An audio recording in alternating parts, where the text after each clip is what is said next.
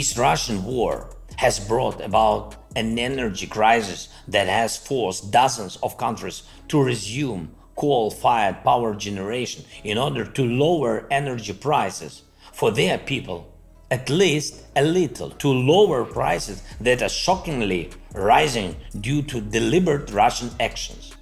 The Russian war brought an acute food crisis to the world, which hit worst those countries suffering from the existing manifestations of climate change, catastrophic droughts, large-scale floods.